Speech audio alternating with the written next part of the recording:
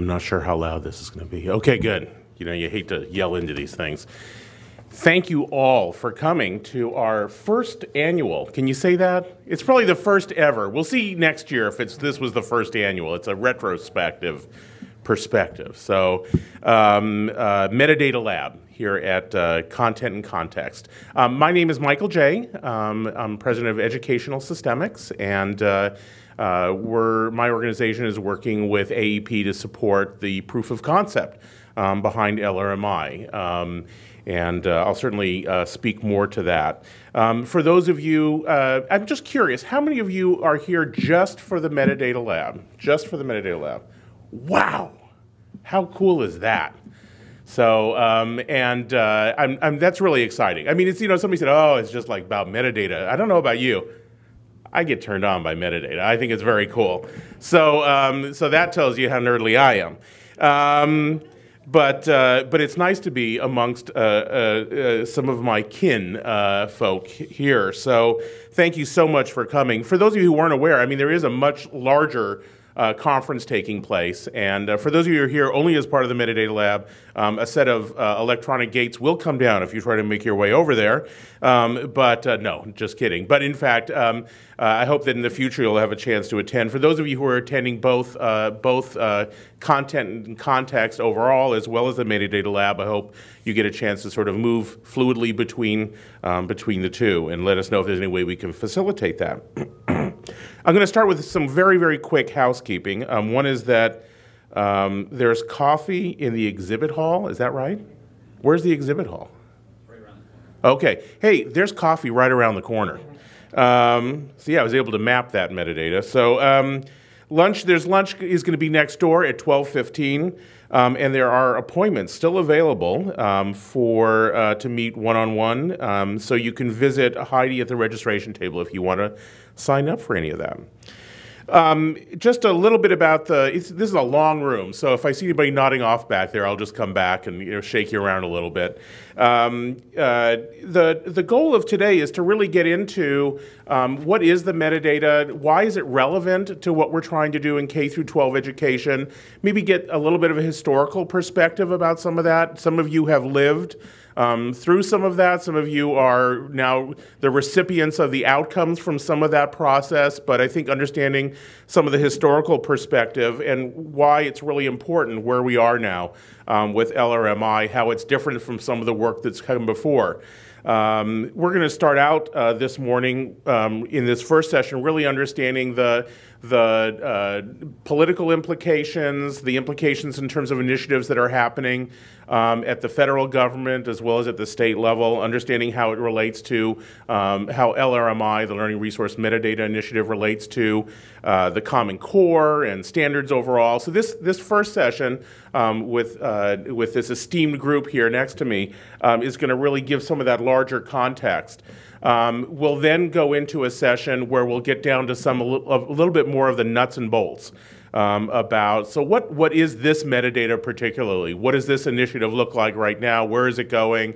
How can you as a publisher participate? Um, what's the different roles? And we really hope, um, hopefully, this will not be a shy group. Um, please don't be shy in any way. I mean, you know, the only way that these kinds of um, uh, initiatives get any traction is if we're all really engaged and take ownership and, and ask the hard questions. That's the only way this actually evolves. So, um, anything else? Where'd Dave go? Dave, anything else I need to say? Okay, I'm going to take that as a no. Um, hopefully, you got uh, your shirts. Um, I just really think it says it all. Um, so, uh, tag me, find me, learn me. Um, so, uh, yeah, thanks. Good.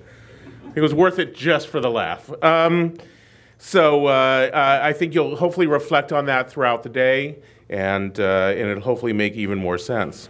Um, today we have uh, with us for this uh, first session. Um, we have with us three speakers um, who are at various places within the within the, the world of data uh, within the Department of Education. Um, we're going to start out, I think we agreed, uh, Jack, we're going to, yep, um, with Jack Buckley, um, who is the commissioner of the NCES, the National Center for Educational Statistics. Um, and uh, he is currently on leave from New York University, um, uh, where he's an uh, associate professor of applied statistics. So I think the key part there that I thought of when I read this is applied. So this is not about abstractions, and I know when I took statistics, I had to derive all the equations, which really has helped me as an educational researcher, he said sarcastically. Um, it's about applied statistics and about understanding sort of the implications and how that all works. So I think that's important. Um, he's taught statistics and educational policy at Georgetown, Boston University, State University of New York at Stony Brook, um, has an extensive background in, uh, uh, in, in really making uh, things happen. So um, the second speaker we have today is uh, Ross Santy. Um, I've actually gotten to know Ross through uh, my work for 13 years on the Schools Interoperability Framework um, uh, uh, board, and Ross has worked closely with that group. Um, and Ross comes to the department after serving four years as co-founder and head of the information and operations at a project called Just for Kids, which, if you're not aware of, um, was is really an innovative project around trying to get access to the right kinds of data to inform uh, learning and understand what our, what's happening in our schools. Um, he also was at the uh, Los Angeles County Office of Education um, as the uh, Director of Instructional Technology at Browning School in New York and a high school history teacher in New Jersey. Again, I just want to impress upon you that Ross comes from where it's all taking place. He understands the context, he understands how it fits together, both as a classroom teacher at a district level and at the federal level. So again, it's about being you know, really supporting practitioners. And lastly, um, somebody who I got to know while he was at Stupski um, is uh, Steve Midgley. So Steve Midgley um, uh, served at, uh, at the Stupski Foundation for six years, designing and implementing grants for technology in K-12 education. So translation, he saw lots of stuff comes across his desk um, from all different perspectives, from all different sides. And I find that that's really provided um, Steve with really some good context for the kinds of things that he's working on now. Um, he was at the FCC where he headed a team um, to, uh, where he developed education chapter of the National Broadband Plan. So again, the larger context about how this data all hooks in. And he presently serves as an advisor to the Department of Ed in the Race to the Top, Race to the Top assessments, um, and the Learning Registry. And so all of those, again, playing a role. So what you'll see is um, giving the conceptual map here is going from sort of big data um, down to a little bit more how that data gets used, and then the implications about um, learning registry. What, how do these resources fit into that kind of data world, and where are we going? So with that said, um, thank you again, all three of you, for being here. And let me go ahead and turn it over to you, Josh. All right. Thank you. Get all my stuff out of here.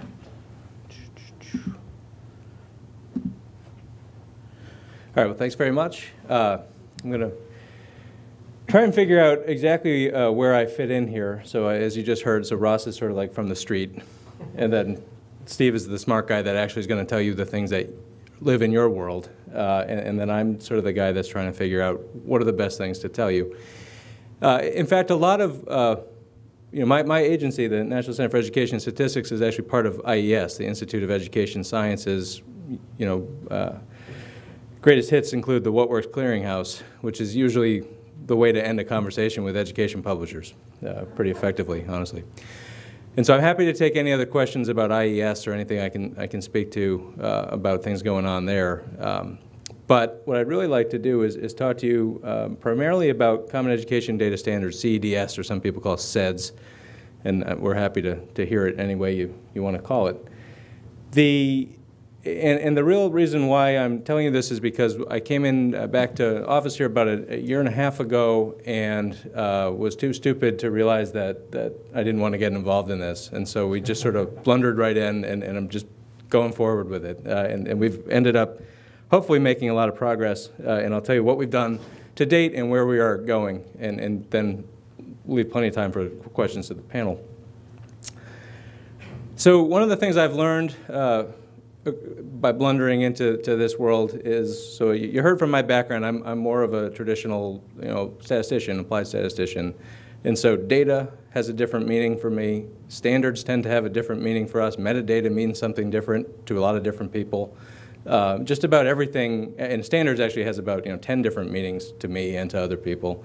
And so all of these words get thrown around, and it's really important uh, for us to, for me at least, to, to figure out when I'm talking to some, somebody new that th- they both understand what I'm talking about, but I actually understand how they're using the vocabulary. And I suspect that we'll, I, I will at least use the word standards probably three or four different times in my own remarks today, and, and I bet we'll hear something different here as well. Uh, I won't even touch metadata if I can avoid the term because of all the different things it means. And we, in statisticians, we have something else called paradata, which is probably not what you're thinking it is. Um, so, so fundamentally, what CEDS, what I'm talking about here is we have a, we have a big problem with our education data systems in the United States. Uh, it's a problem that's partly politically created due to federalism and partly politically created due to compromises necessary to uh, move anywhere on improving our data systems. And partly it's driven by inertia and just sort of you know, a path-dependent process that, that left us in, a, in an uncomfortable position. Where uh, one of the things that my agency does, besides a lot of assessment and data collection, is we fund the State Longitudinal Data Systems grant programs, the SLDS grant program. So going back to 2006, or so, we have given out about $550 million to uh, states, to SEAs, uh, to build data systems, to build student data warehouses at the individual student, so student unit record data systems.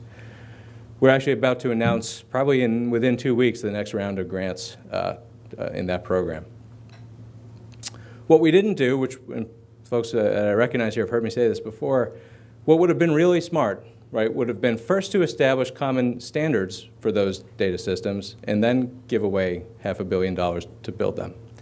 Uh, you're guessing that's not what happened. Uh, so what we did was shoveled all the money out the door and then a couple years ago said, boy, wouldn't it be nice if these systems could talk to each other so we didn't have this problem where I've got uh, SEAs, uh, you know, kids leaving secondary school in state A and I want to send his records to uh, an institution of higher education in state B, and in fact, even at the simple data element level, let alone the complete data model, uh, or, or even more complex standards, in fact, they're not comparable at all. And so you either need to convert somehow, uh, you need to, what usually happens is probably people sit and they make, you know, you email it and then they start retyping in this kid's information because we don't even have any kind of transport standards, let alone having the elements uh, be in common. And so we have this huge problem where you've got a bunch of systems that don't work across state lines and they don't work within states because different levels of education can't talk to each other in terms of their data systems. So you can't go from pre-K and send the kid to K-12 to post-secondary to secondary school to the labor force, even if you're in the same state, unless you're in a couple leading states that really have integrated these systems.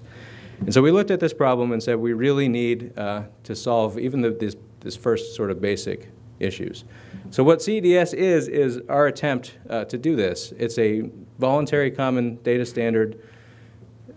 Key element there being voluntary, right? We're not mandates. Is not a federal mandate. You must use this. This is a. We're working with the field, and I'll tell you how who in the field and how we how our process works. Uh, to, to basically set up a common vocabulary, to define elements, option sets.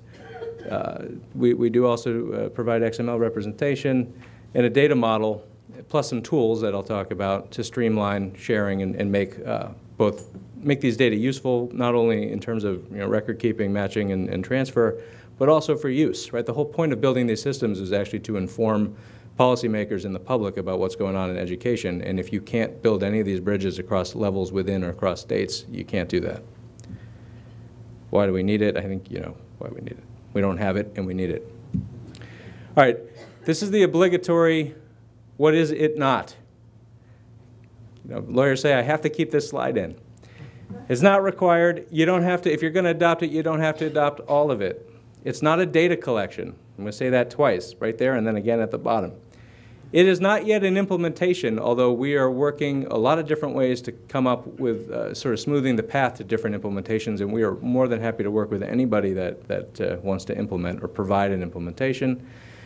It's not just the U.S. Department of Education, and I'll show you some of the other stakeholders, but as you can imagine with something like this, we've, we've had to and are uh, thrilled to have been able to reach out to a really broad uh, set of stakeholders in the community. And then finally, again, it's not a data system, right? It is not a federal unit record system, which means it is not an attempt for me to collect, uh, you know, for every single individual kid in the United States, their education records, which is prohibited by law in two places for me to do that. And so I'll tell you again, that is not what this is. This is a voluntary standards effort for states to use in their data systems, for institutions of higher ed to use for their data systems. It is not a federal Big Brother data collection. All right, so how do we do it? Well, one of the things that happened was, well, I'll get to this in a second. You know, uh, we had to do it fast because, as I told you, we're already late. We're years late. And so the only way to do this was essentially first to get together as many people uh, that have an interest in this area as we could keep at a table in, in large rooms. Uh, and then, of course, to steal as much as we could from any existing sources of standards that aren't nailed down. And so if you look through these, you're going to see a lot that looks like SIF. In uh, uh, higher ed, you're going to see a lot that looks like the PESC XML implementation for IPEDS, if you know anything about IPEDS. Uh, there, there's a lot in here that, and, and when I talk about the future, which is really important with respect to the Common Core State Standards or the Race to the Top assessments, you're going to see a lot in there that looks like IMS and APIP and QTI and, and other uh, existing standards because there's no other way to do this without taking what works uh, already and just making sure everyone agrees that it works right for their needs we've uh, part of the process has involved a lot of public comment. So not only the stakeholders in the room, but bouncing things back with the field and uh, soliciting a lot of comments. And we actually have had thousands of comments over the development cycle just in the last year and a half. Um, and then, of course, uh, creating the data model, the elements, developing some tools, which I'll talk about, and an accelerated release cycle. So when I came in, uh, version one had just been completed, and version one was essentially minimal, right? We, we had spent a year and, or so and developed about 161 uh, unique data elements, which frankly were not even enough for, uh, to support. If, you if you had built a data system with just CEDS version 1, you couldn't even do reporting to EDEN, to EDFacts, right? Your system would not have actually enabled you to do mandatory K-12 federal student reporting, let alone anything useful probably that your constituents wanted you to do with your data system. Uh, and it was all K-12 centric, except for the case of feedback reports, which was again sort of driving, K-12 driving the post-secondary conversation. So uh, in January, we, we did a year uh, development cycle for version two, and what we did was try and grow uh, sort of as much as possible. And so what we, we did was expand downward to early learning, upward uh, to post-sec. We're pushing forward into the labor market, uh, adult education, career and technical ed. Um, we really wanted to move beyond just sort of K-12, certainly to, to first include all the K-12 elements necessary for federal reporting, include all the post-secondary elements necessary for federal reporting via IPEDS, but this CEDS is not about just reporting to ed, to the department. And so we wanted to use, you know, build the elements in a data model you would need for a lot of other use cases that were out in the field. Uh, and then put this together in a package that gives you tools and lets you see the, the, uh, the entire system and, and what it means and how you might use it. I mentioned stakeholders, right? So again, you can't build data standards uh, and have them stick without getting broad support from the field. We uh, had representation that, you know, people that came in person and participated in a lot of WebExes and back and forth from SEAs, uh, from local education agencies. As, as, you folks know, if you work uh, with any states, in a lot of states, the leading people thinking about data systems are actually in the bigger uh, districts and not necessarily in the state education office. It really varies a lot depending on the state. And some of the smartest people out there with the most experience are actually not in the state house. They're, they're down the street in some other local large city. Um, higher ed is a bigger issue uh, because, of course, in the U.S., you know, yes, you've got large state public systems, and it's easy to find those folks, but then you've got thousands of little, you know, some not so little uh, individual institutions of higher education and so we had to bring as many of those folks to the table as we could. And this was a place where people thought the politics were going to be difficult. Uh, and, and they've actually been surprisingly not so difficult so far. And I think it's because we, the, the you know, sort of the wedge in the door here was using IPEDS as the case study. So if every single uh, institution that's eligible for Title IV, so either uh, Pell Grants or subsidized lending from the government, which is basically every large or even small uh, institution of higher ed in the U.S. and some not in the U.S., um, since they all have to report to IPEDS, it's mandatory, they actually had an interest in, in this. And we're, we've been able to keep individual, you know, private schools, for example, representatives from private colleges, uh, both two-year and four-year, involved in the process.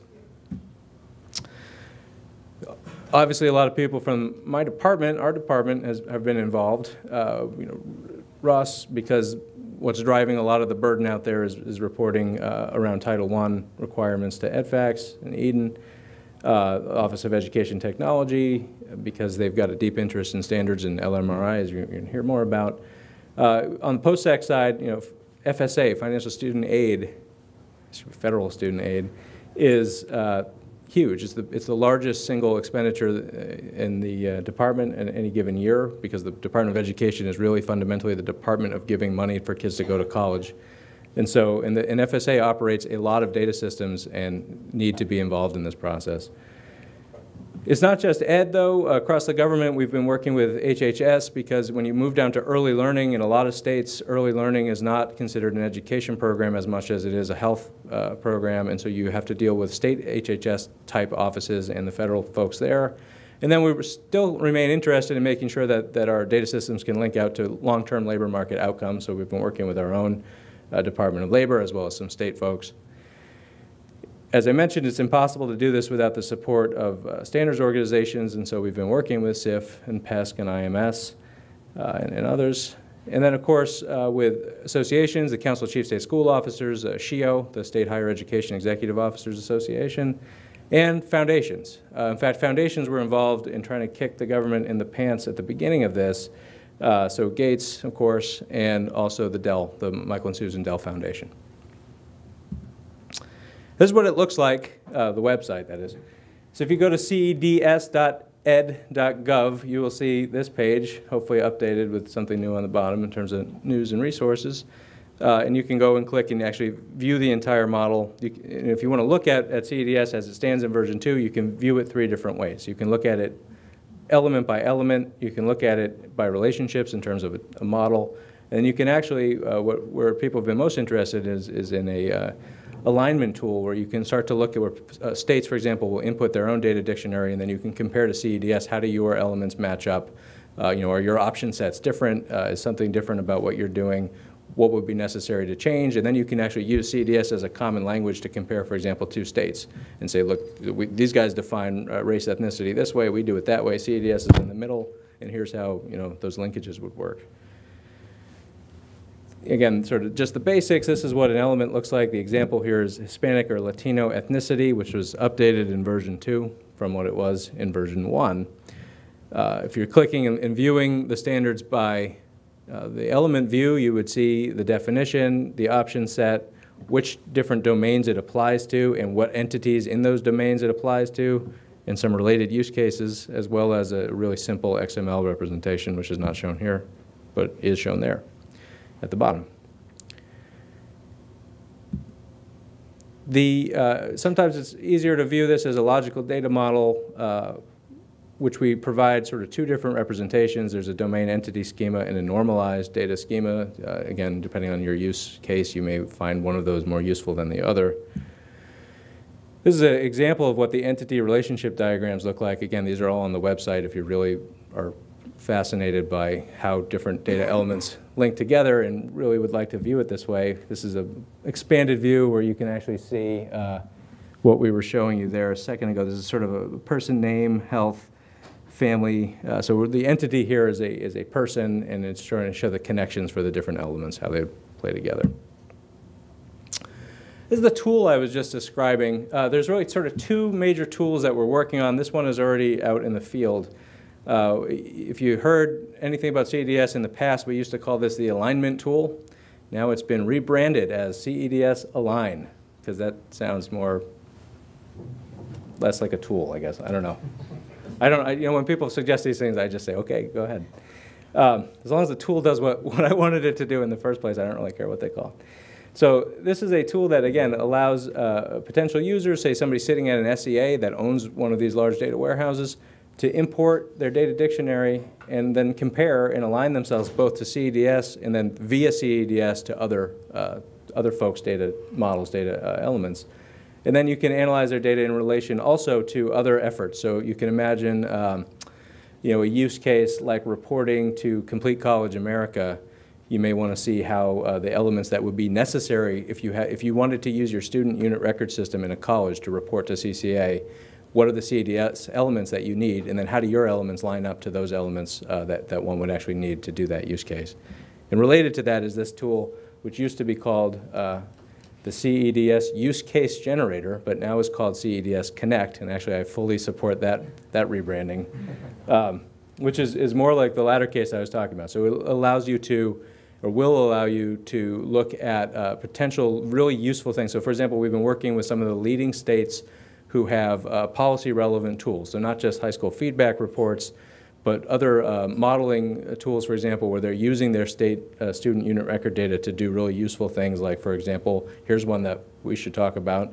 Uh, you may have noticed that the, the Brookings a few a month or so ago suggested that states should use their student unit record system data to uh, analyze the efficacy of curriculum materials. So imagine you are a state and now I've got, uh, I know my data system has a field for what curricular material you're using in Algebra 1 in a given school. And I'm talking about material, in this case, uh, like a textbook, what published curriculum material. Well, in the old days, this is, this is a little bit ironic because it's the same guy, it's Russ Whitehurst, right? So in the, in the old days, what Russ would have told you is that curriculum material needs a randomized controlled trial to be submitted to the What Works Clearinghouse to meet the evidentiary standards of what works. Now in Brookings, what Russ is suggesting is why don't states uh, take advantage of this growing amount of data and do some sort of you know, quasi-experimental analysis, so use an econometric model, for example, to model the effect of different curriculum materials, published materials, on uh, student growth. Again, this is not a government recommendation. This is coming from a, a think tank.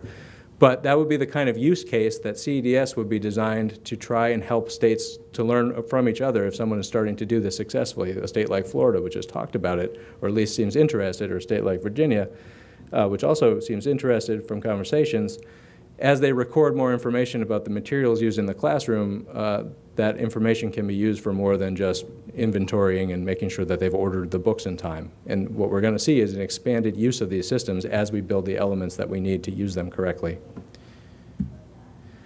So we are in the middle of a, a same aggressive development cycle for version 3. So as soon as uh, January 31st rolled around and we released version 2, I think we took two days off and then we started version 3. And in three, we're really trying to expand early learning, which is supporting the department's push for uh, the Race to the Top Early Learning Challenge, the RTTELC. Uh, we are doing some pretty important stuff in K-12 that I'll talk about, and trying to expand post-secondary beyond just IPEDS to some of these other cases like Complete College America and the, the VCA. The workforce, uh, we continue to, to try, although that is harder uh, than any of these other areas. Honestly, labor systems are different. It's sort of a different bunch of, of players there, uh, but we're, we're bringing them in. Uh, and then we've been really interested also in making sure that our data elements and models support what we need in our systems for CTE. And adult education is also one that people are interested in, but it's hard to find uh, the right people necessarily to, to sit in the room for that. As part of the K-12, what I really would like to, to end up with is here is just to talk to you about two really important areas. Uh, they're really all around assessment and learning, and this is why I think I fit in. This is the part where I guess I fit in the most with the rest of the, of the panel and, and what you're doing, is sort of how can we at CEDS uh, help with the standards that we need to support the next generation of assessments, both the Race to the Top or Common Core State Standards assessments that the consortia are funded by the department, but also in general, formative assessment in the classroom. What kind of standards do we need or what needs to be standardized uh, in your data systems to support using these data systems at a much more granular level for tracking instruction and, and figuring out what works at the, at the student level. And so really I'm talking about trying to expand the standards to cover formative assessment and teaching and learning, trying to support some of the existing teaching and learning initiatives that are out there, uh, and of course, we're always very interested in making sure things like, uh, you know, a student wants to hit one button and export their records and make sure that those are portable. And that's something the department is deeply interested in. Steve can talk about, I'm sure. Uh, and then, as I mentioned, support for the, what we call in the department, the Race to the Top Assessment Consortia, but most people think of as the Common Core State Standards. All right, so this is a really silly, sort of simple model about inside a classroom. We've got standards, we've got feedback that needs to get back to kids. Uh, the instructor has to make decisions around this learner, and then the assessment is the tool that's driving the collection of data. And here's some balloons. Right, what does CEDS potentially have to do with this? Well, around formative assessment in this cycle, we need to figure out what elements need to be added to CEDS and structures to support standardized formative assessment data systems in the classroom. And here again, you know, as I told you, we borrow and steal anything that's out there working. And so if somebody's got, you know, a, LMS uh, with much of this problem solved and the IP is, is open, then we will say, you know, if we can get the rest of the stakeholders to agree that that works, this should be the standard, then we're done. It's not usually that simple, especially in this area. So much of this work may not get finished uh, in version 3, but we're pushing as fast as we can. Around formative feedback, again, the question is what kind of process measures need to be CEDS elements? What's useful uh, in, in using these systems, these uh, learning management systems, uh, that needs to be standardized? So, for example, what kind of uh, uh, elements do we need to show what, when the assessment gets distilled back into to the kind of progress that the kid is making? On the standard side, and this is really where we touch on LMRI, the, the third sort of counterclockwise balloon, is talking about for example, what kind of data elements do we need to describe structures like learning progressions? Learning progressions, of course, if you believe in them, there's pretty good evidence uh, academically, at least around mathematics. I'm not, personally, this is not speaking on behalf of the department, I'm not as convinced in the evidence around ELA that we really understand the learning progression there. It's a lot harder, I think, to assess reading and writing, and it's harder to specify the, the simple learning progression.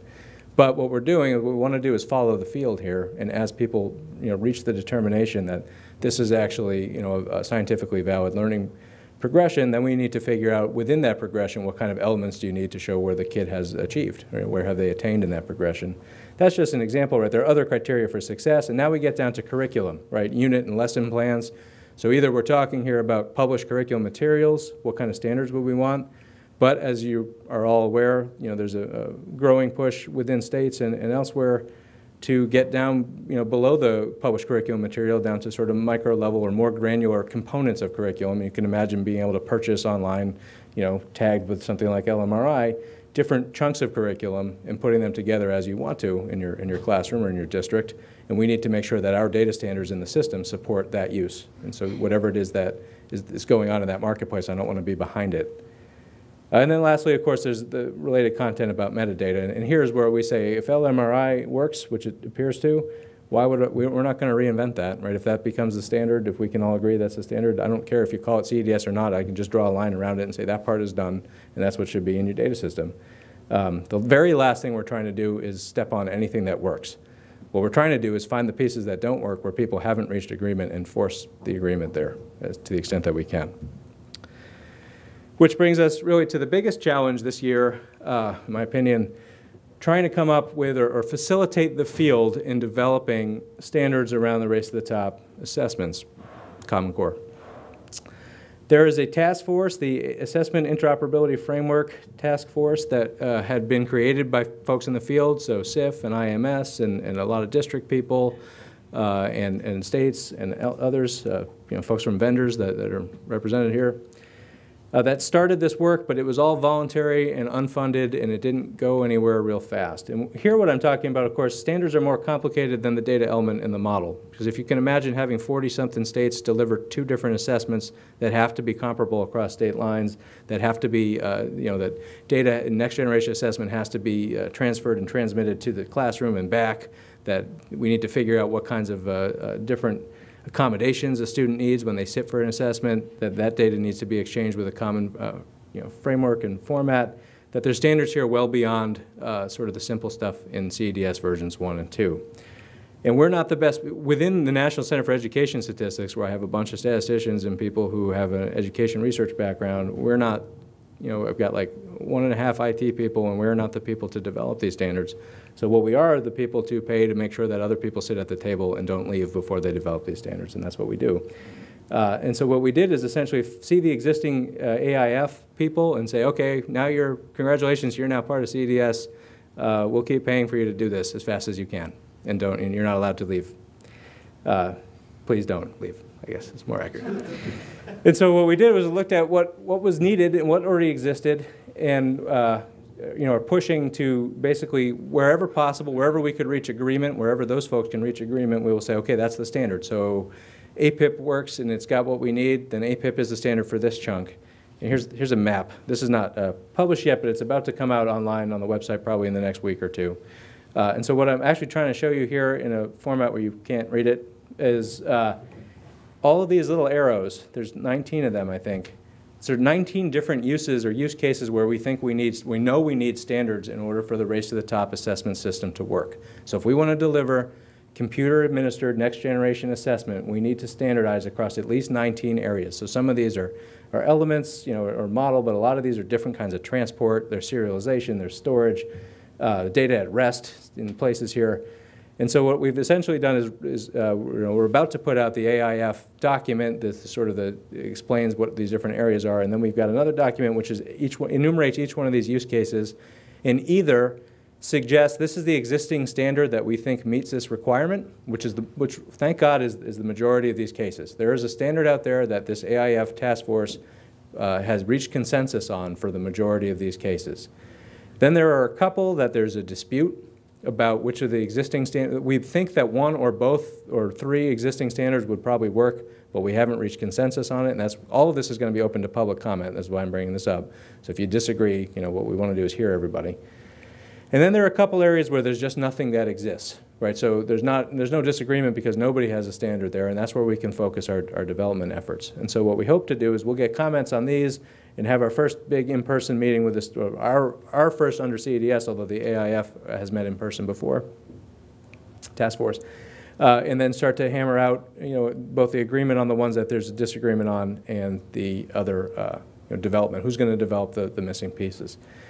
Again, uh, this will be public uh, momentarily, but you can see the kinds of things that are involved in delivering next generation assessment. There's you know, the item banks, there's the test banking, there's the delivery system where you try and do registration and administration, P&P, um, how you present, right? But then there's a whole analytics and scoring system because these are computer administered, and at least one of the two consortia is still promising to deliver a fully computer adaptive assessment, which means you need an online scoring algorithm that has to be standardized across states. And you got to be able to deliver real-time uh, scoring as the assessment uh, progress continues for that kid. And then, of course, we've got reporting. There's analytics, there's the operational reporting. Somewhere there has to be a data warehouse for these kids to store this stuff. It has to be transferable to and matchable to the state uh, SLDS for their accountability systems to report to Ross. Uh, maybe they've got a growth model because they've got a waiver or something. They need the system needs to support that. Uh, and then and this data still has to filter back to the classroom and to the to the district so that it can be useful and not just sit in a warehouse someplace. So all of these things need standards. I'll stop there because that's enough, I think, for me. But, and I think we'll, we'll just talk and we'll do questions at the end. All right. So after all that, um, my role at the department is certainly different than Jack's in that um, as much as we're not able to run, and, and as he mentioned, prohibited in at least two places from holding a unit record data system that has student level micro data that we could mine and understand what's going on, we're prohibited from doing that. But it doesn't stop the policy and program leaders of the department from asking the types of questions probably best answered by mining a lot of student level data. So we've got to define out a bunch of questions and a bunch of standardized aggregated statistics that we want to go collect from states. And what we know, as Jack mentioned, is in the past six years, every state has made some level of significant progress on the development of their statewide longitudinal state data system.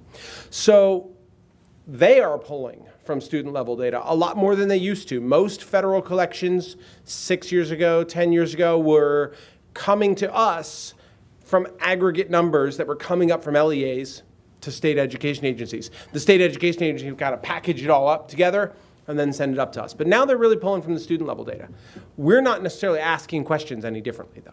And that's one of the things that EDFacts has been trying to do and talk to the programs about is now that we know states are working off a bank of student level data, longitudinally linked student level data, how should we be asking different questions for program purposes, policy purposes, et cetera? So just for a little bit of background and a walkthrough with enough time for Steve to kind of take this to its next logical place. Um, EDFacts is the department's initiative to consolidate and streamline collection of pre-K through 12 demographic performance and outcome data. So we started with all the federal formula programs, everything where we grant large amounts of money down to the state education agencies. They in turn sub-grant most of that down to the local education agencies. Title I, IDEA, we worked with um, Perkins on the secondary measures that are there. You get into also Title III, Title II, a whole bunch of other programs and other things that are in there. So our core mission is to work with the states. We don't work directly in EDFacts with local education agencies. We work with the state education agencies to collect, define, collect, validate, and then put to use a, fit, a set of data that's fit for use internally and then with the public.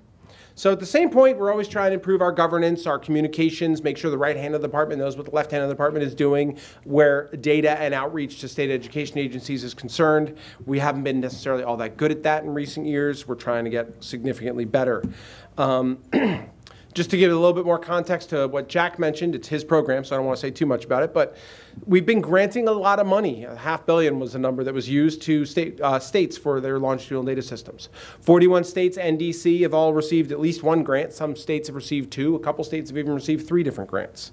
But the systems being built with those, with those funds are intended to enhance the ability of states to efficiently and accurately manage, analyze, and use education data. They, at the state education agencies, are moving from that position of, yes, we gather up a lot of numbers from districts, we put them in a binder, and we send the final answer on, to actually managing student level data because they're getting asked by state legislatures, by governors, by a lot of people to really understand what's happening in education in the state. Key driver of this in recent years is, of course, is my state a good place for a business to come do business. And they got to be able to say something about education. They got to know what's working and what's not working in education to do that. And state legislatures are asking more and more questions and, and driving a lot more out of that. So we know these systems are being built. They're trying to help districts, schools, educators, anyone else make data informed decisions, improve student learning outcomes, facilitate research, increase student achievement, and close the achievement gaps. These are all the standard things that people are now putting micro data, student level data to use for.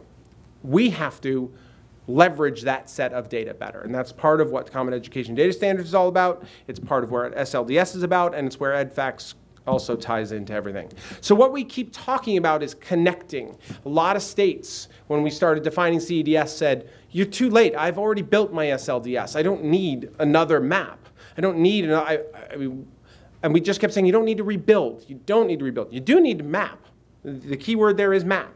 And the more you can understand one vocabulary and how it relates to the vocabulary you're already using within your data system, then we start to figure things out. So this is, again, a couple things about federal reporting and version 1 and version 2. Version 1 didn't have that federal reporting focus, version 2 did. It was an explicit goal that Jack put on it to make sure that across IPEDS and across EDFacts, we could say Common Education Data Standards has what's needed. If you were to take the, the full data model, the vocabulary of common education data standards, and build a data system. Or at least map it against your own data system to find out where the gaps are. But if you had everything that's in CEDS inside your data system, you could use that data system as a source system to do your federal reporting. You could make sure that that would meet the needs. You could start automating things. You could talk with neighboring states about automation, and they've been doing that and moving all that forward. So that was really the goal of version two.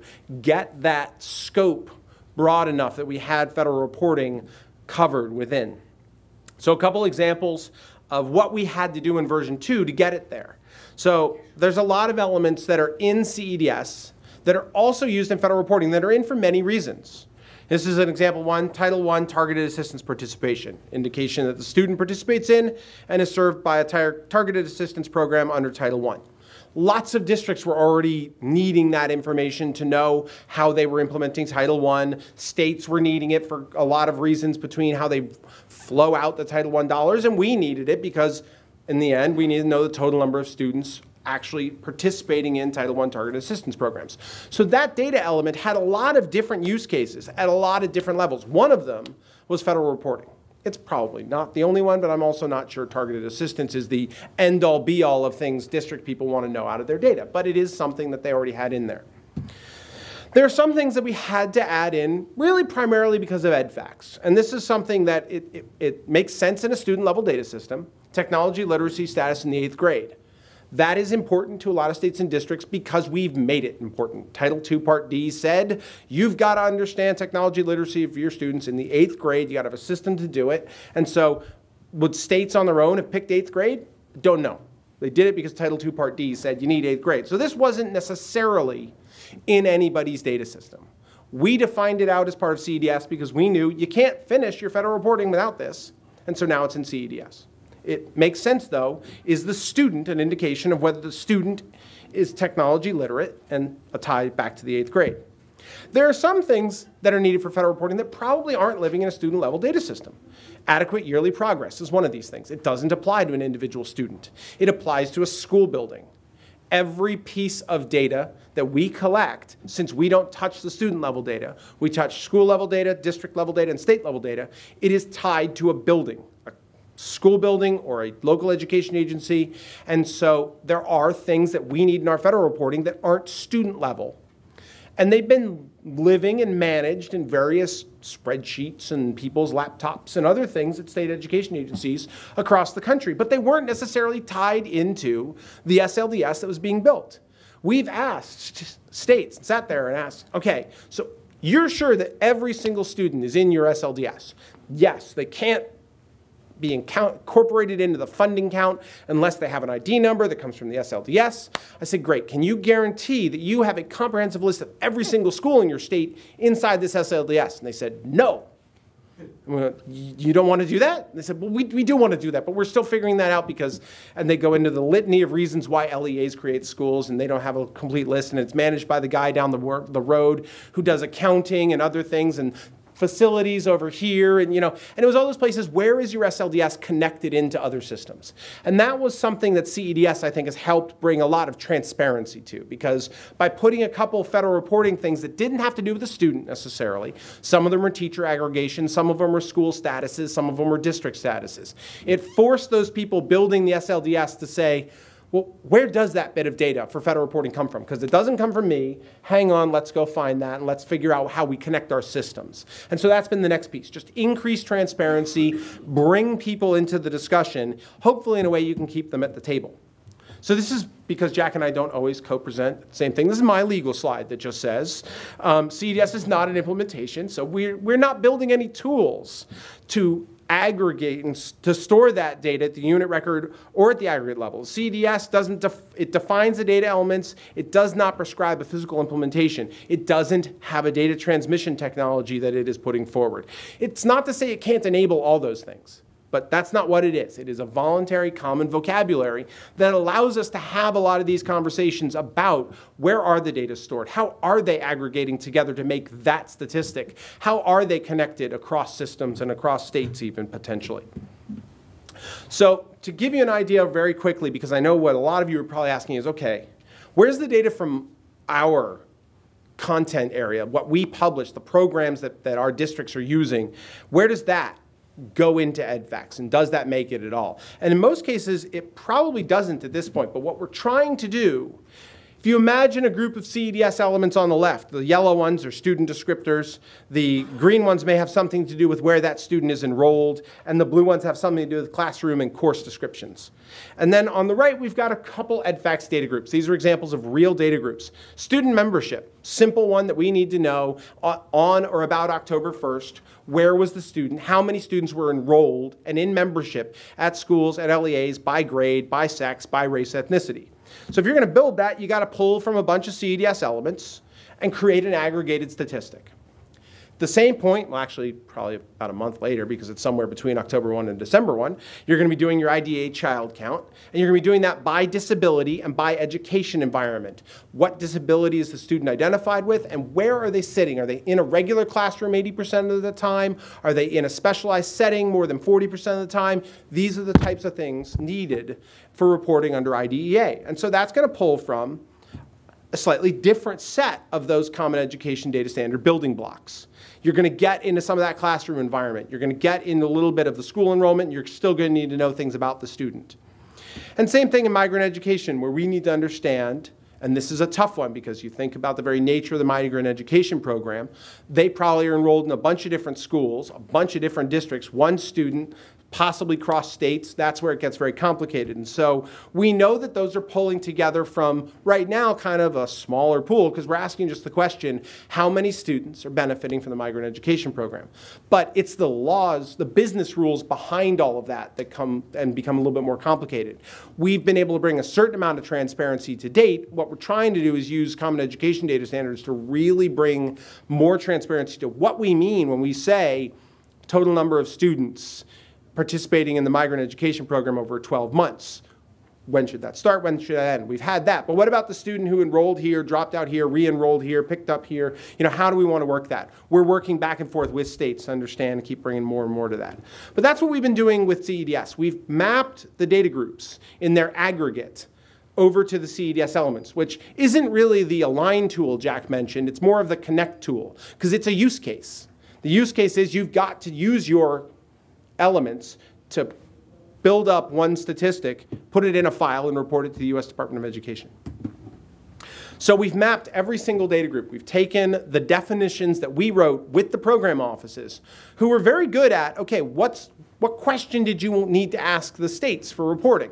Oh, well, we need to know how many kids are enrollment. We then break that down. Okay, what does that mean from a data system perspective? Let's think about something where states are going to be querying a system. You need to know it by this group, by that category. Do you need that cross tabulated? What does that mean? Do you need a subtotal? Do you, we, we need to get a grand total. How, how do we define all these things? But then it's a matter of taking all that which has that discussion of common education data standards in it, and putting it out for the field. Because if I were to say to a grouping of six states. You can't do student membership without these six elements. I'm probably going to get at least one state who goes, I use a seventh. Is that okay? And it probably is because everything is driven by state definitions in a lot of cases. There are a lot of places in our aggregate definitions where we've had to say, as defined by the state. And that makes everything very complicated. It usually makes things a lot less comparable, but it's the world of federalism across K 12.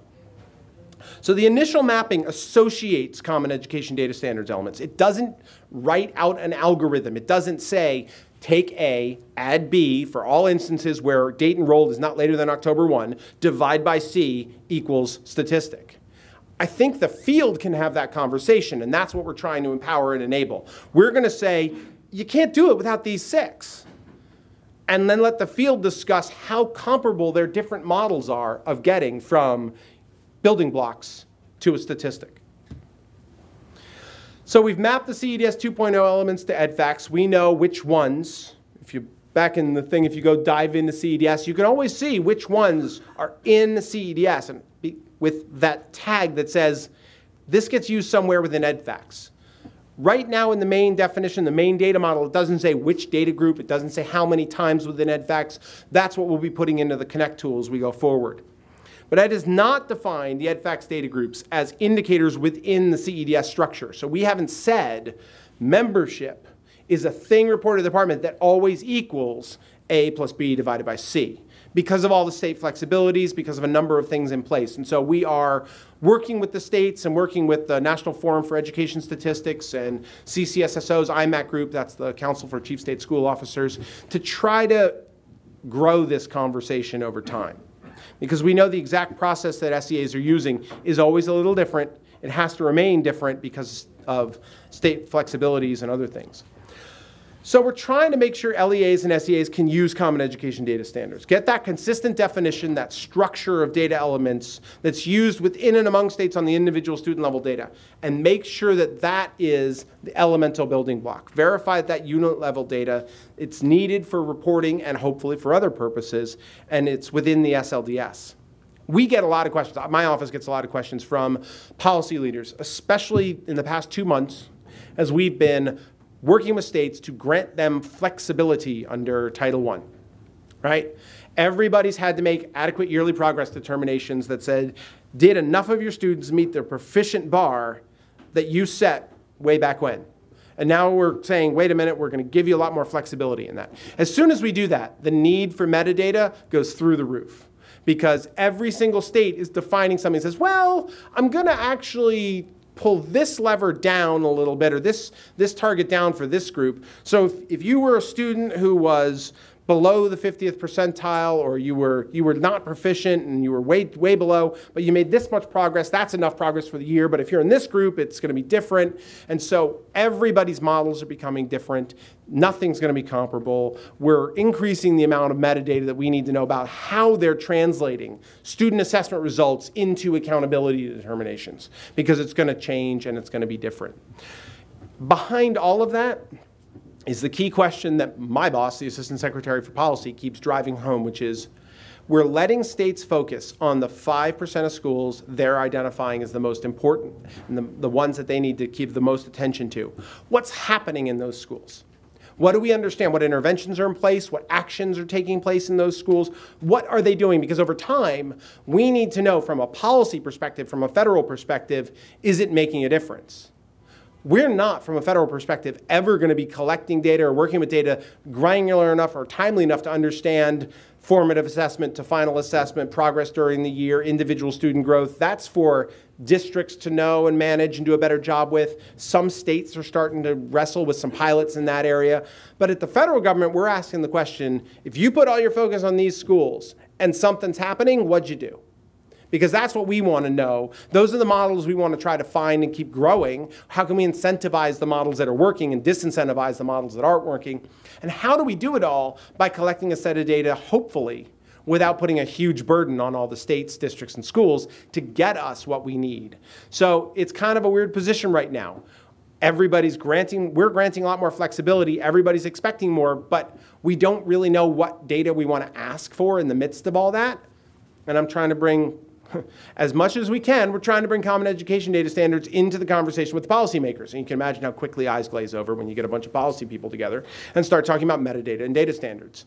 But we're trying to keep them there because if they can focus on here's what's in the common data standards, here's what states are already working with and rooting into their systems, Let's not go way off far afield and create something brand new. Let's look at this and talk about how this data, these sets of information could be aggregated differently. How could we look at them more, more longitudinally than we do now, since really there's only about three things that we collect that actually depend upon longitudinal statistics.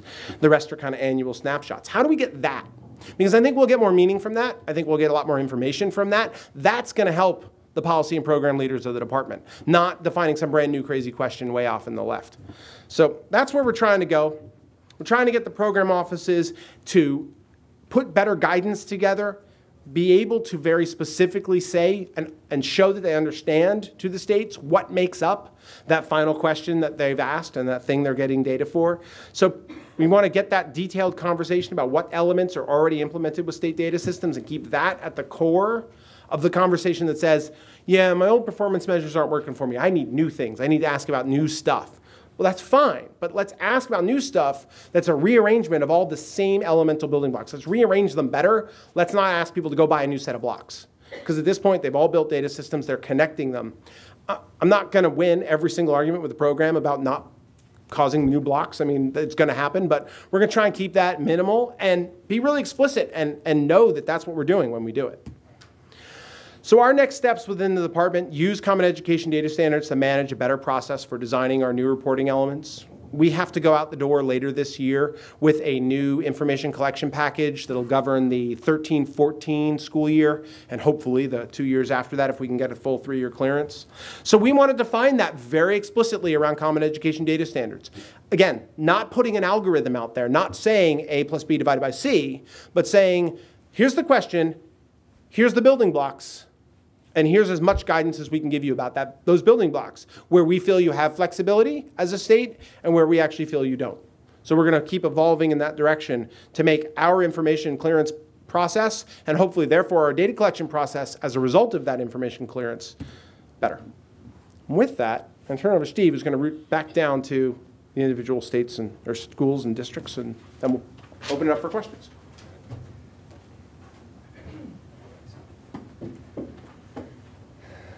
Okay.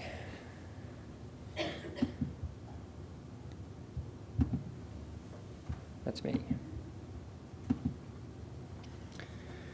Okay, so uh, um, my presentation uh, will be about uh, Learning Registry, which some of you may know about, just to get um, a sense for me to know what kinds of things are helpful to talk about. How many of you already feel like you uh, understand LRMI at, at, at a pretty good level of detail.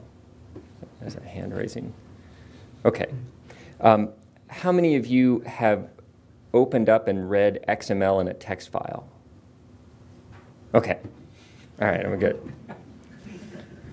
I just, you know, I got to know kind of who I'm talking to. Um, so uh, in, in principle, Learning Registry is just a project to help us share what we know. And we've heard about CEDS and, uh, and EDFacts, which are uh, both projects essentially to do similar things, um, share what we know. But uh, Learning Registry has taken a particular approach, and it's a very uh, operational approach, and it is a uh, it's a peer-to-peer approach. And so this this presentation will sound a little bit different than some of the uh, information that that that Jack and Ross have been talking about, not because what Jack and Ross are working on aren't important, but because there are multiple strategies to uh, solving the wide range of problems that we have. So this is not a replacement for any of the things that we uh, have heard about up to now. This is, uh, in, in some sense, a supplement or a, a, uh, a, a, way to accomplish some different goals, uh, not, to, not to diminish or, or speak to the, the goals that uh, that we were talking about earlier. Um, and as a matter of point, I'm working uh, pretty intensively on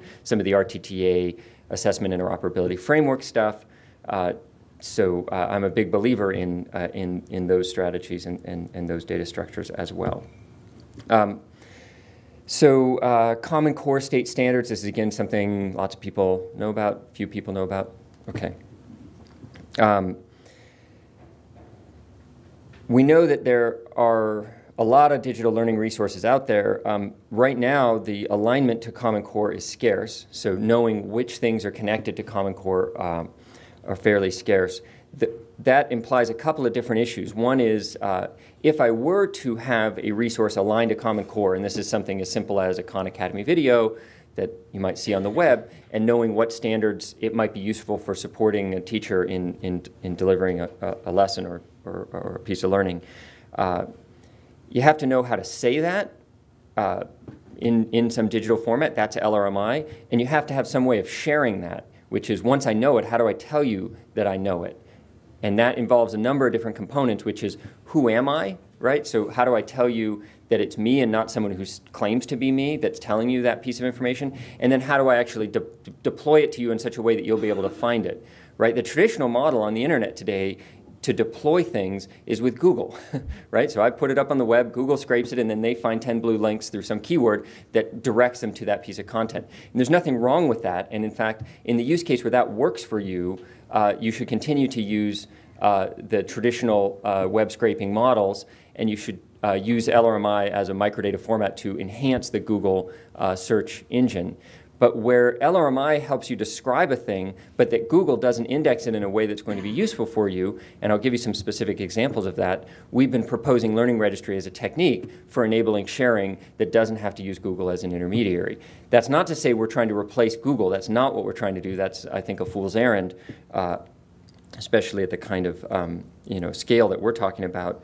Uh, but what we are saying is that there are many use cases where Google is inadequate for the case described. And I'll give you just some specific examples on this slide, which would be uh, a lot of states and districts deploy systems that allow teachers to interact with the system and with other teachers and with content.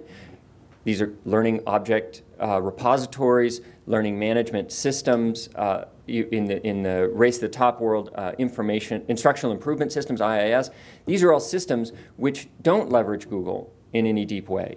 And those systems right now are essentially vertical stovepipes. They're, they're, they're just uh, integrated to themselves and not to other systems that resemble those in other states or within the same state. And the question is, what would it look like to integrate those systems so that if a teacher in one system learns something, another teacher in another system can benefit from that learning. Or if a state department makes a determination, another state department can leverage that information. Is that making sense? So in, the, in this problem domain, many state uh, departments of education are investing in aligning web-based uh, digital content to Common Core. That investment uh, can be relatively time-consuming and expensive. Each state, therefore, with limited resources, each vendor with limited resources knows a little bit about this problem domain, right? If you tried to align every resource in Google to the Common Core state standards, right, that would be a problem. It's not, not a very uh, practical activity. Uh, but if each one of us takes on a little piece of that, all of us can know a lot about that. You know, I'll just give you a little basic math.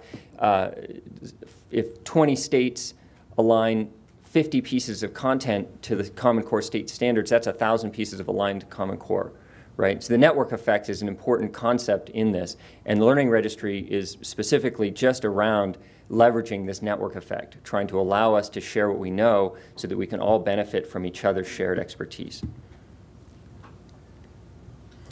This is an important policy point, which I've been learning a lot about. I've, I've sort of been taken to school in a number of different directions around, uh, around this project. And, uh, and this may be useful to vendors as you're working with states. It's certainly useful if you are from a State Department.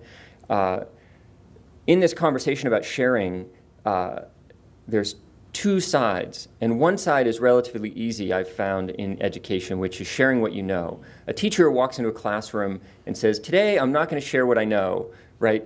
Not a lot happens after that point in time in the classroom. So education fundamentally is about sharing what we know. So giving away what I know to someone else, that's really deep into the sort of DNA of education. So that turns out to be a very easy ask. I go to a State Department, I say, if you aligned a thousand resources to Common Core, would you share them with all the other states? They say, sure, no problem, I'd be happy. Where do I put it? So that conversation has been relatively easy and we're making a lot of progress around that. On the other side, if I say, well, I have these three other states who have these 3,000 aligned resources, would you put them into your system? Say, uh, well, I'm not sure I trust. Um, what's the process they used? Is it good for, a, right? There's a bunch of political, technical, educational problems that people experience. So my emphasis is uh, around, on this project that we need to work harder to accept the fact that other people know useful things and can, we can benefit from those things. You know, I'll tell you uh, from a perspective that buying those 3,000 aligned resources from a vendor is in fact easier than taking them for free from three states right? And that's an interesting business model. So I'm pointing out business model here, right? Um, that's an interesting opportunity for organizations uh, because of the politics of using things from other states versus using things from vendors. Now, do I have to like that? Do I have to like that the fact that we have to sell things that are free? No, I don't really care, to be honest. If we make use of these things, that's okay. So I just want to uh, observe that as we're um, as we're going through this. So what is the Learning Registry specifically? Uh, it takes a little while, as a few people in the room know, to, to sort of get the, the, the, concept across of what this is. But effectively, Learning Registry is a technique rooted in some technology uh, that's all open to enable computer systems to share with each other. So this is not a website where you send your teachers instead of the website that they're currently going to. It's not a website. So th these guys have some disclaimers about uh, this is not a mandated federal reporting of individualized student. My sort of disclaimer, which is not uh, mandated by Congress, um, is this is not a place that you send people. So it's hard to communicate. But so I, I tell people this, and they say, uh, "Well, what's the logon?"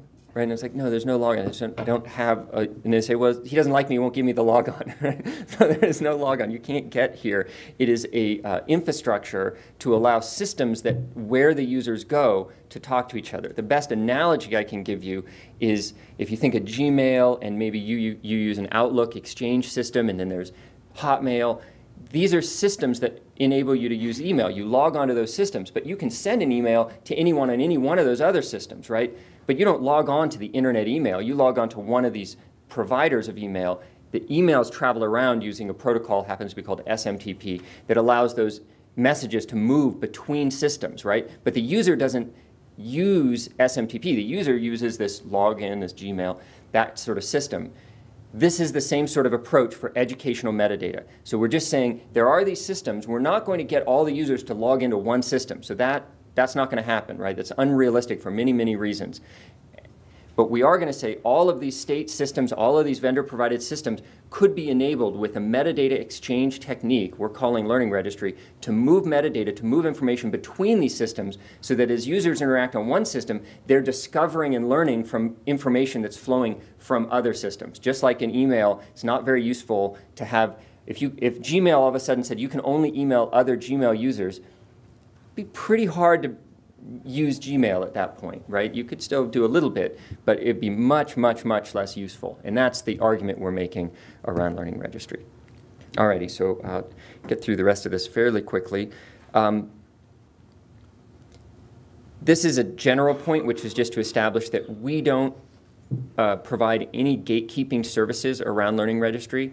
Anyone can share anything they want that in involves metadata through the learning registry. We don't require specific formats and we don't require specific quality measures. Those are determined by the provider and the receiver of the information. So uh, in that sense, the important thing that we provide is a, a, identity framework so that if someone puts something into the registry, you know who that organization is vis-a-vis -vis distinguishing them from other organizations. So On one day, you're consuming something from a state department of education. The next day, you know you'll be consuming these things only from that state department. So if you trust that state department on day one, you can trust them on day two. You won't get spam in that channel.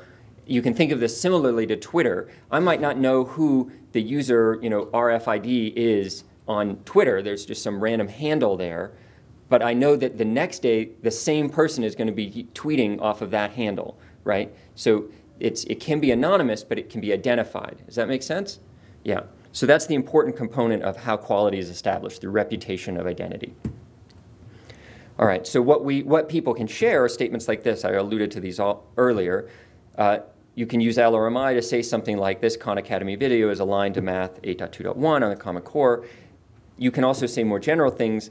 This Pearson content pack is aligned to, and then you could iterate 15 Common Core standards. So you might be able to say it's not one little tiny video and one little tiny resource, but there's this large content pack that's, that helps with these range of standards. That's, that's an important concept in education, and that's something you can communicate uh, pretty, pretty effectively uh, with LRMI as an example. Uh, this is just to establish what uh, the, the infrastructure is. So Department of Education and Department of Defense have invested alongside of a few other organizations uh, in a free open community using open source and open standards. So the technology is free and open, Apache 2 license, so you can just take it and use it in your projects. You don't need to uh, resubmit modifications that you might make. Uh, we hold uh, conference calls, we hold listservs that are out in the open. Our documentation is all out in the open. So uh, even the bug tracking and, and, and uh, roadmaps are out in the open. So this project is easy to get involved in uh, and easy to, to leverage uh, to use uh, for projects that have commercial intent and also you know, open or nonprofit intent.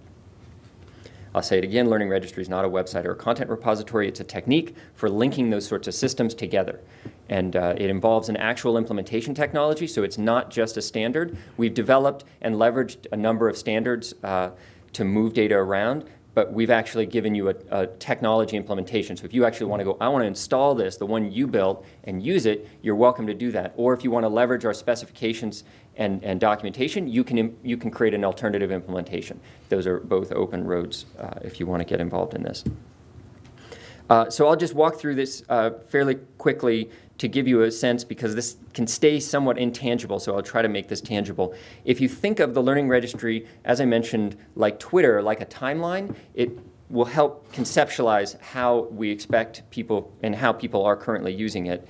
So uh, uh, if NASA, which we work with, produces a Mars rover animation, which they've done, and puts it in the Learning Registry, which they've done, uh, that becomes registered as essentially a first-class piece of metadata, which has got some XML descriptors, you know, what it is, the title and the location, the URL, those sorts of things. So that goes onto the registry.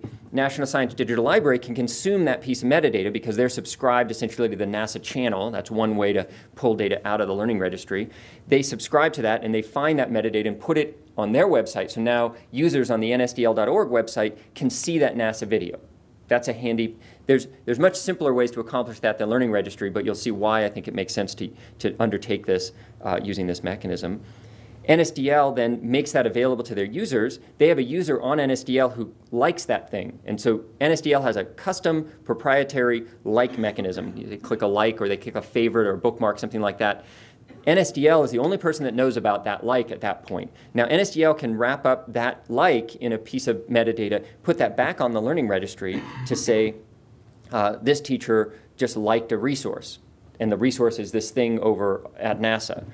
Uh, CTE Online can then uh, take a look at that uh, resource as well, and they can find that one of their teachers aligned it to a standard. They put that back on the registry.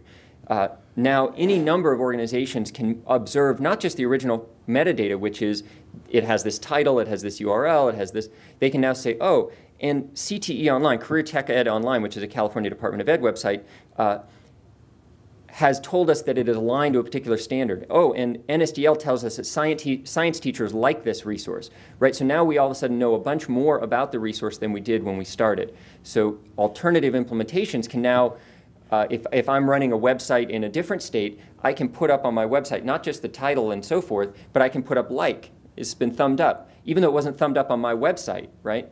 This, Facebook does this all the time, right? And we're just providing you a technical opportunity to put the kind of Facebook type interactions and the type of metadata alignment interactions that we don't have a mechanism for sharing today into, uh, into an operational framework. Does that make sense? Okay. This is just, um, that's probably too small to read a lot of it. This is just a summary of all the different kinds of, and, and, uh, and I'm, uh, I may catch a little bit of heat um, from Jack at some point for abusing this word, um, which has a technical term in his profession called paradata. We've been calling uh, this sort of activity data around learning uh, paradata. And it's a, an abuse of the term, but, uh, but it's kind of catchy. So um, uh, you can see over on the, that you might have a source website which was visited. You might have usability gets rated. You might have star rating, four to five stars. You might have tags, right? You might have discussions occurring. Uh, you might have it included in a learning activity, right? So there's any number of what you can think of as verbs with uh, objects going on. So a science teacher working with ninth graders favorited this. A second grade ELA specialist uh, taught this, right? Uh, you can have any number of activities around resources that get consumed and then uh, uh, lodged onto this metadata timeline, which is the learning registry. Uh, how that gets used, uh, this is an example from Brokers of Expertise, another California Department of Ed website that's been using Learning Registry. Uh, so as a user is trying to select a resource, they they click on Learning Registry selection, uh, suggestions as part of the tab, and they can see the standard that's related, which is actually a California standard. That's not a um, that's not a, a, a Common Core state standard, but even so, they can see based on favorites and other activity data, they get suggested resources that might be connected to that standard uh, coming off of the Learning Registry. And that's largely because of other California Department of Ed systems that are publishing into that. Okay, so that's all I have to say uh, as an overview. Um, I think we'll probably have questions for all three of us. Uh, if you, this is actually incorrect. Um, I don't know how that happened. You won't find any happiness at learningregistry.com. I don't know how I edit that. It's learning registry. There we go. Dot .org. Real time correction. Thanks.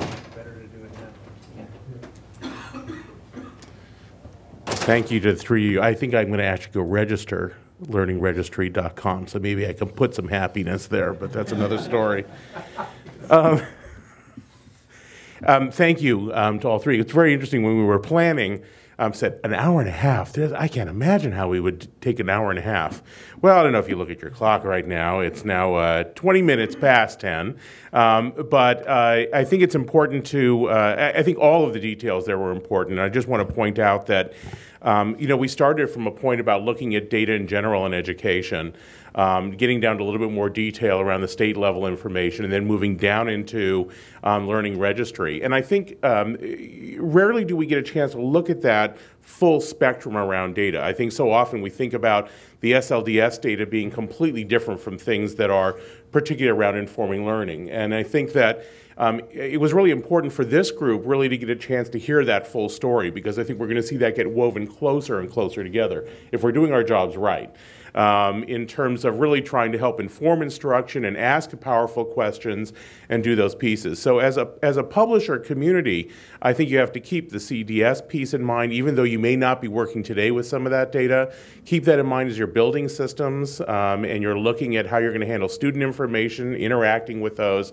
Um, but clearly, we're going to be taking um, today and moving closer down to um, defining the actual learning uh, resources themselves. So let me go ahead and open up to any questions that people have of any of the three of our esteemed panelists here. So, questions? Josh.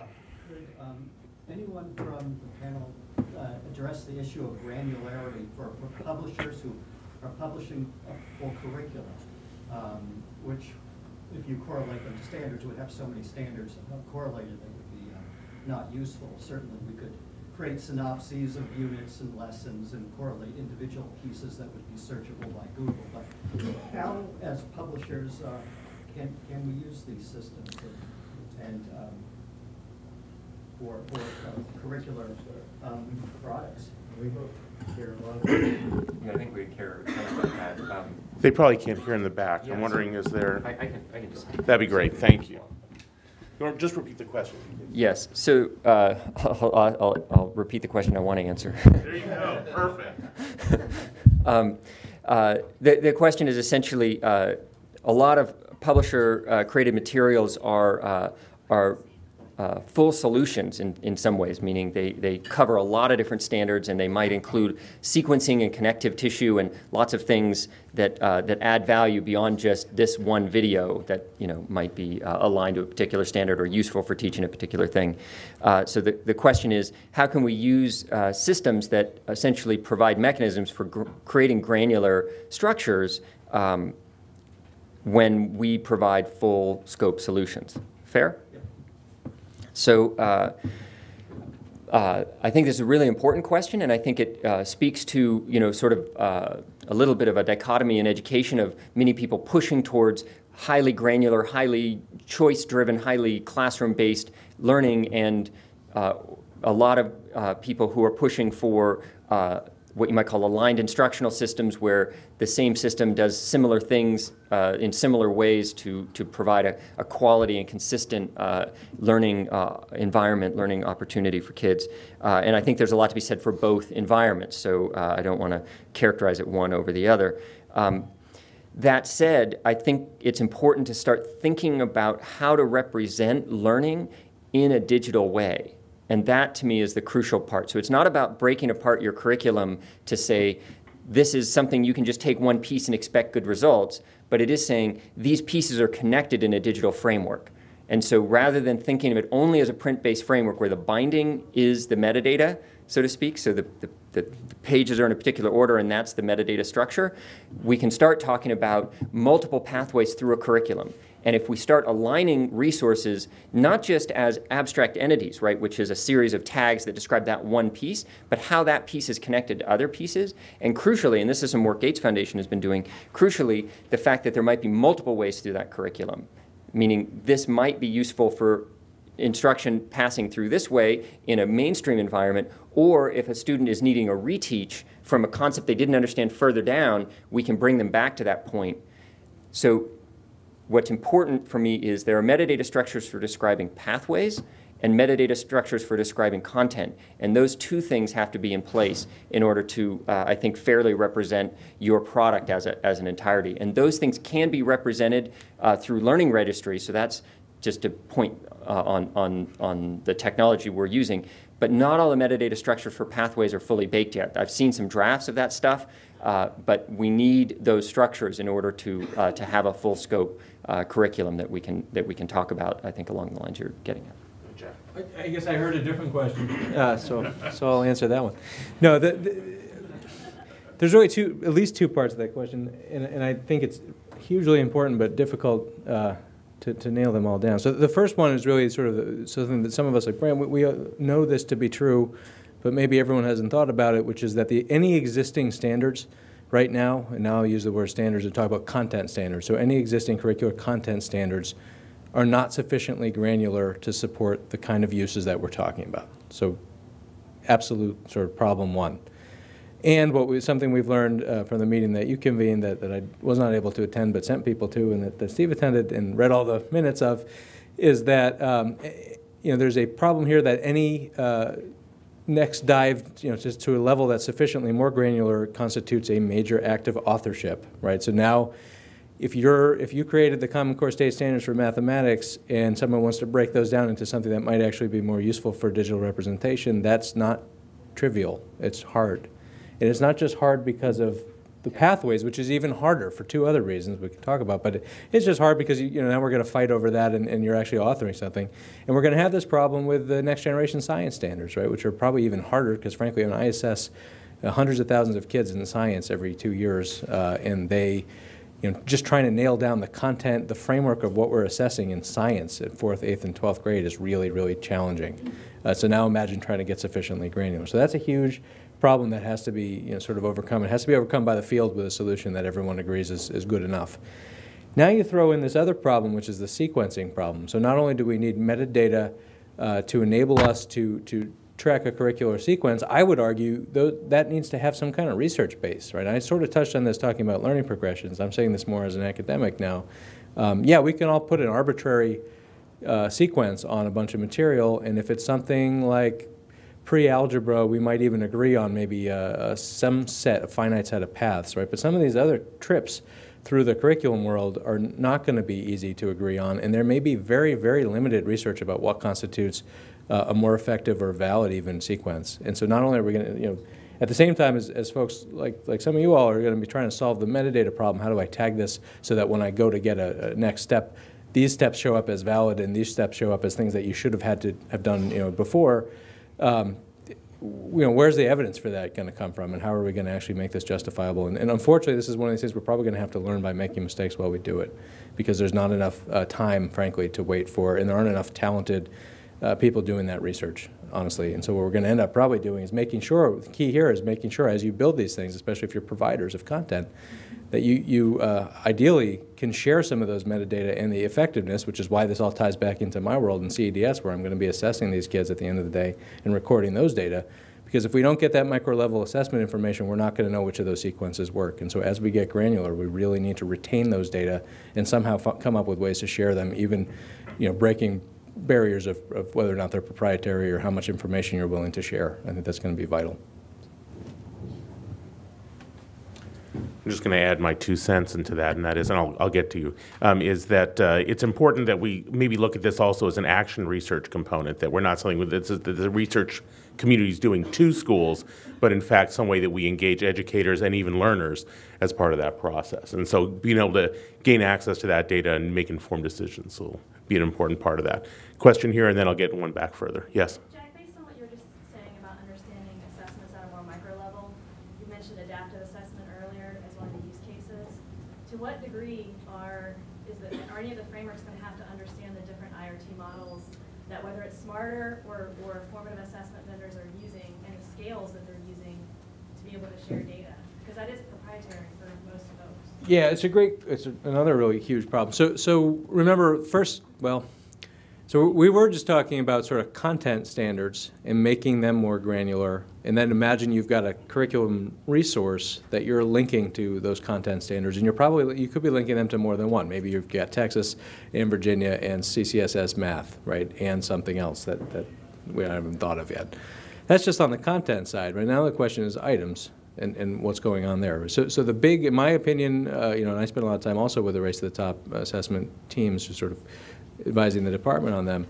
Uh, creating items is, is a huge bottleneck in this assessment process, and that's one of the reasons why, because they have to be linked to content and they have to be pretty granular there too. I think what's interesting about the assessment world is that people maintain this, uh, I'm not going to call it false, but they maintain a, a firewall between sort of content and that framework and the, and the curriculum material and then the assessment framework and the items that come out of that, and then that's the, sort of a different thing. When obviously in your curriculum material you've got items for formative assessment, and obviously these guys have something that looks a hell of a lot like your content framework in the assessment world, and we draw a line and we pretend that they're different and that they inform each other. But the only way I think that we're going to have enough items to populate, you know, a, a formative slash summative and adaptive next generation assessment is if we can break through some of those barriers somehow. And these kinds of metadata initiatives that tag uh, potentially, for example, your content and enable people to buy it, per perhaps, you know, at the state level per student in, in near real time, or at least in chunks uh, to put in a test bank or an item bank at the beginning of the year, then to formulate tests. I think that's going to be necessary. I don't know how the, the item development community is going to provide enough items uh, without the content development community working with them. I, I, it's hard for me to see, especially because what's going to happen in you know, I worry a lot about item, uh, or rather test security, right, and test integrity and security. And if the testing window is going to be very large for the Common Core State Standards assessments, that means we need even more items because we're going to have to burn a lot of them as that window stays open. But, but assuming you have enough items, you're, they're going to be coming from different vendors, especially if they're based on IRT model that use different scales. So is the expectation that vendors are going to have to make more of that IP publicly available so people understand how to interpret it? Especially when you're dealing with taking a formative assessment September 1st, taking it September thirtieth, it's, there's a vertical scale that shows you how much growth you made. You want to understand what content was used during that period for efficacy purposes. Wouldn't, you- wouldn't vendors have to be sharing a lot more of that IP than they do today? The- So I don't want to open up the vertical scale door, although that's a good question too. I, I think it's, it's clear to me, at least from reading some of the technical materials that the T, the technical advisory panels to the consortia have provided, that even if we think that, that the Common Core state standards are vertical in some places, they're probably not vertical everywhere. And so we're going to have to make jumps. So let's go ahead and assume no, no real meaningful long-term vertical scaling. A lot of people disagree with that. We can, we can, that's a whole separate panel. Uh, uh, yeah, I mean, I think the short answer is even, you know, assuming we only had one consortium, we're still going to have that problem. There's going to be a scaling problem. We don't, I don't know what IRT model they're actually going to end up using. Uh, I don't know how well, you know, we, we want to do trend over time, let's say, even if it's not uh, vertically scaled, but I want to see how uh, fourth graders are doing over time in that state. I'm going to give a similar assessment. That, that's a scaling problem that I have to fix, and I have to rescale that every year. It's going to be very difficult to plug in items uh, if they've got sort of properties that don't fit in, in that model. I agree. I, I don't know how much is out there. I mean, I think if we can come up, the, the good news is I, I, I haven't heard that anybody's looking at sort of radical new psychometrics, and so there's sort of a small finite set of, of models we can think about in a, in a relatively small solution set for this problem. But yeah, it may, it may end up at the end of the day that it's not a technical problem, it's a legal problem. It's another, yet another area in this space where it's the IP lawyers that, that matter more than the, the psychometricians, which, which I've learned is lots of areas in this space. Uh, that's why we have so many lawyers at the department. That's a good question. I, I had one other question I can take. Let me ask the three of you. Are you going to be able to stick around for just a little bit with us? Okay, great. So I had one more question I promised to take, and then we're going to take our break here. Just real quickly, I know, I think you folks have had a lot of challenges looking at this, is, is finding the information that's out there, and I know that you've made some comments about Google. Have you thought about an open source search like Lucene that could be used amongst uh, the vendors? I know Lucene is technical capture as well. I've used Lucene in the past. Uh, Right, so the question is around uh, search and what technologies might be used for accomplishing search. Uh, I would never use search in, in the phrase alternative to Google. Um, I, I just think, you know, when you talk about people that consume terawatts of power every day running search, um, you, you, there's really no alternative. Um, But if you're trying to solve a search problem in a fairly, fairly narrow domain like education, with a, with, with a much smaller set of uh, items, a set of searchable elements, you can look at open source technologies like Lucene. You can, in fact, even leverage some of the Google uh, web search, custom search engine uh, uh, products to, to solve that problem. Learning Registry, which is a really important point here, is not a search technology, it's a distribution technology and a discovery technology with an identity framework to allow you to do this uh, not just on the worldwide fuzzy web, but specifically associating particular levels of quality with particular submitters and so forth. So uh, it's very relevant. In fact, there's a vendor in the room who has been working uh, over at Agilix uh, uh, who has been working on dumping learning registry metadata, which comes in a stream, right? It's a distribution framework over into Lucene Solr. So I believe that's specifically their strategy.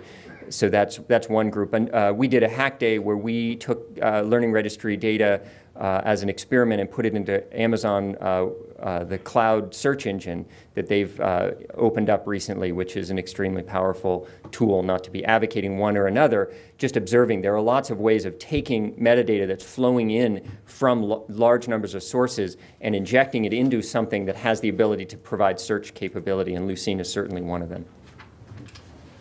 Great. Well, we're going to take a 15-minute break, and I know we're running about five minutes behind, but, uh, you know, better use of the time could not be made than have this discussion. So feel free to, to uh, chat with any of our speakers, and we'll be back in here at 10 minutes to the hour.